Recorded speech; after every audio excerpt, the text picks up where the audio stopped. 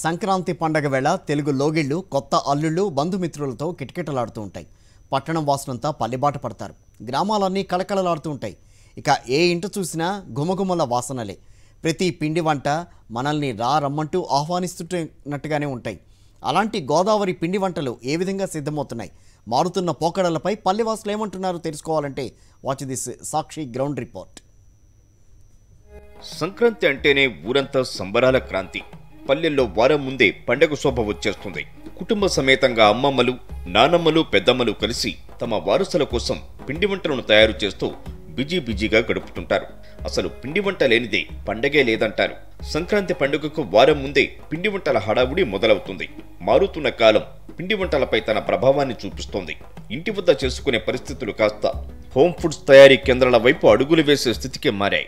తెలుగు రాష్ట్రాల్లో సంక్రాంతి పండుగ అంటే పెట్టింది పేరు గోదావరి జిల్లాలో. అలాంటి గోదావరి జిల్లాలో సంక్రాంతి పండుగ సందడి పూర్తిగా మొదలైందని చెప్పొచ్చు. ఇక్కడ నుంచి ప్రత్యేకించి మనం చూసుకున్నట్టుగా ప్రస్తుతం మనం పశ్చిమ గోదావరి జిల్లాలో ఉన్నటువంటి ఉన్నటువంటి భీమవరం ఏరియాకు సంబంధించి సమీపంలో ఉన్నటువంటి చిన్నమిరం గ్రామంలో ఈ గ్రామానికి సంబంధించి ఇక్కడ ఉన్నటువంటి గ్రామస్తులంతా కూడా సాంప్రదాయ పిండి వంటలకు సంబంధించి ఇక్కడ ప్రత్యేకించి తయారు చేస్తుంటారు. ఇక్కడ చూసుకుంటే కనుక అరిసెలకు సంబంధించి సంక్రాంతి అంటేనే ప్రత్యేకంగా అరిసెలకి సంబంధించి కూడా ఎక్కువ ప్రిఫరెన్స్ ఇస్తూ ఉంటారు. ఇంటికి సంబంధించేటువంటి బంధువులు మరోవైపు కొత్త అల్లుళ్ళకి సంబంధించి కూడా ఉన్నటువంటి వారు కూడా ప్రత్యేకించి అరుసులు కూడా తయారు చేస్తుంటారు పిండికి సంబంధించి తయారు చేసుకుని వారే తయారు చేసుకున్నటువంటి పరిస్థితి కూడా ఉంది. ఆ రోజులకు సంబంధించి చెల్లిపోయి ఇప్పటికి సంబంధించి కూడా మహిళలంతా కూడా గృహిణులంతా కూడా ఒకే చోట చేరి వారికి సంబంధించినటువంటి పిండి వంటలన్నీ కూడా ఒకే చోట తయారు చేసుకుంటున్నారు. దీనికి సంబంధించి ఇక్కడ ఉన్నటువంటి మహిళలు ఉన్నారు. వీరితో మాట్లాడదాం అమ్మా చెప్పండి. మీకు సంబంధించి సంక్రాంతి అంటే గతంలో ఎలా ఉండేది? ఎలా చేసుకునే వాళ్ళు? ఎలా ఉండదు ప్రత్యేకంగా వంట పిండి వంటలకు సంబంధించి ఎలా ఉండేది ప్రత్యేకంగా.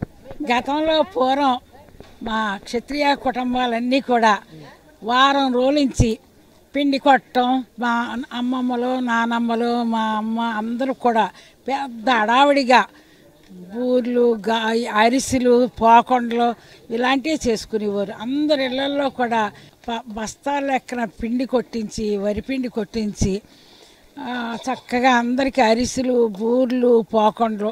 అప్పుడు ఆ మూడు రకాలే చేసుకునేవాడు అమ్మ.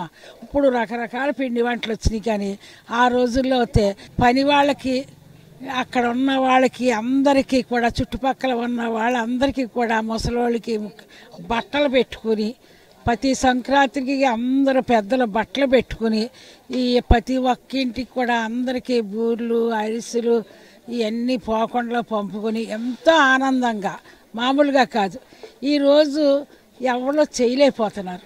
చూడొచ్చు వీరంతా కూడా ఒకటే స్పష్టం చేస్తున్నారు. గతంలో అంటే తమకు సంబంధించి ఎక్కడ ఉన్నటువంటి గ్రామాల్లో ఉన్నటువంటి ప్రజలంతా కూడా ఒకే చోట ఉండి ఇళ్ళకు సంబంధించి కూడా తయారు చేసుకునేవాడు ఇప్పటికి సంబంధించి కూడా రెడీమేడ్ వ్యవస్థ వచ్చేసరికి ఇక్కడ ఉన్నటువంటి వారి గ్రామాల్లో ఉన్నటువంటి వారు కూడా మహిళలకు స్వయం సహాయ సంఘాలకు సంబంధించినటువంటి మహిళంతా కూడా ఒక గ్రూపుగా ఏర్పాటు తయారు చేయడంతో ఇక్కడ ఉన్నటువంటి వారు కూడా తాము ఆర్డర్లు ఇస్తున్నాము. సంక్రాంతికి సంబంధించి కూడా ప్రత్యేకించి పిండి వంటలకు కూడా ప్రత్యేక ప్రాధాన్యత ఉంటుందని చెప్పి ఆమె కూడా స్పష్ట కనపడుతుంది.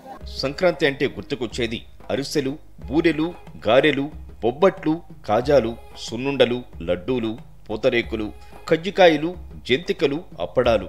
ఇలా ఒక్కో ఇంట్లో నాలుగైదు రకాల పిండి వంటలు సిద్ధం చేసేవారు. ప్రస్తుతం అవి తారుమారయ్యే పరిస్థితులు నెలకొన్నాయి.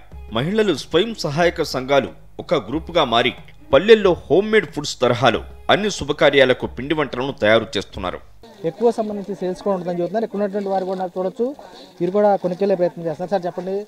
ఎర్నాల నుంచి ఇక్కడికి వస్తున్నారు? ఎలాంటి నేను పన్నెండు సంవత్సరాల నుంచి ఇక్కడ తీసుకెళ్తున్నానండి. నేను మా అమ్మాయిల పెళ్ళి సారీ అలాగే శ్రీమంతం సారీ అలాగే మా మనవరాళ్ళకి మనవాళ్ళకి బారసాల సారీ అన్నీ కూడా ఇక్కడి నుంచే తీసుకెళ్తున్నాను నేను.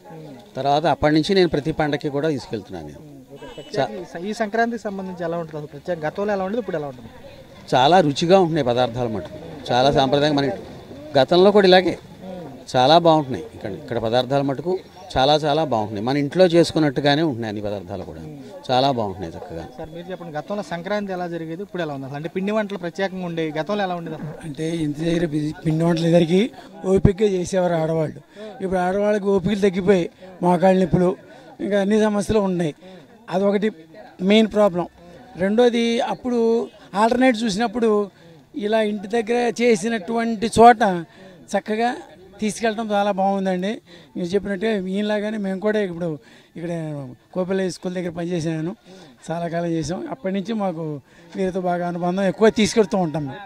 సంక్రాంతికి అత్తవారింటికి వచ్చే అల్లుడికి అరిసెలు కూతురుకు కుడుములు పెట్టాలన్న ఆచారం ప్రకారం అరిసెలు సంక్రాంతి స్పెషల్ అని చినమిరంలోని మహిళలు అంటున్నారు. గోదావరి జిల్లాకు వచ్చేవారు పూతరేకుల రుచి చూడకుండా వెళ్ళారని ప్రత్యేకంగా పంచదార బెల్లం డ్రై ఫ్రూట్స్తో చేసే పూతరేకులకు మంచి గిరాకీ ఉంటుందని వారు స్పష్టం చేస్తున్నారు.